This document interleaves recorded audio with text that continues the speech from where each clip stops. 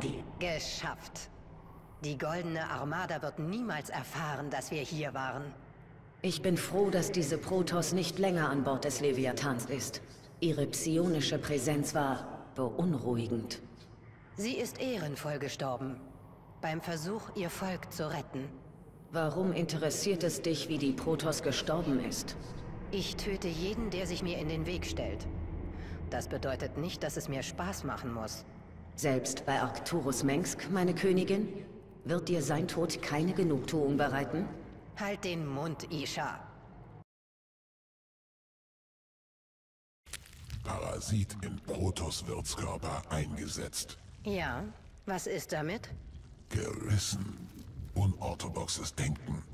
Protoss nicht infizierbar. Aber als Wirt für Fremdkörper geeignet. Ursprung von Parasit unbekannt. Ich habe ihn erschaffen, Abatur.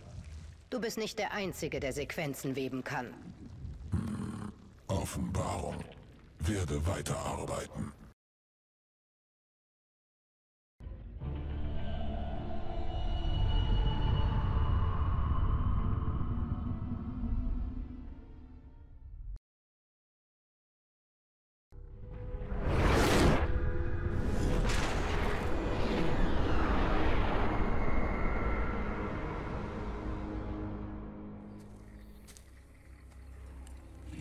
Macht von Cerus führt euch hierher. Die Rache an Mengsk führt mich hierher. Diese Zerg werden mir helfen, Korhal zu zerstören. Cerus muss euch neu erschaffen, Kerrigan. Der letzte Krieg rückt näher und es bleibt nicht viel Zeit. Ich muss gar nichts tun. Ich bin kein Spielball deiner Prophezeiungen.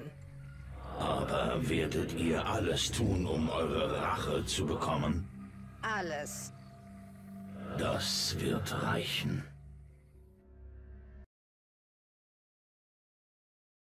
Wir entstanden an diesem Ort. Hier entwickelten sich die Zerg zuerst, ja. Es gefällt mir hier nicht. Ein schwächlicher Planet. Char ist deutlich überlegen. Sei dir nicht so sicher. Zeus könnte sich als gefährlicher erweisen als jede andere uns bekannte Welt.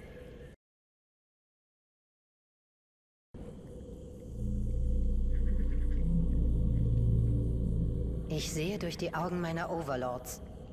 Diese Urzerg sind faszinierend. Sie scheinen nicht zu altern. Jeder Organismus altert. Selbst die Zerg. Aber diese Urzerg konsumieren die Essenz anderer Individuen. Sie verändern sich ständig. Sie sterben nicht. Bis sie von ihresgleichen getötet werden. Stimmt. Die erfolgreichsten Jäger unter ihnen müssen unfassbar alt sein. Und unfassbar gefährlich.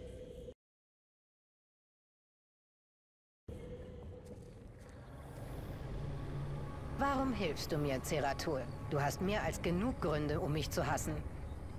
Die Xelnaga wünschen sich eure Rückkehr als Anführerin des Schwarms. Du weißt, dass ich nicht an deine verrückten Prophezeiungen glaube.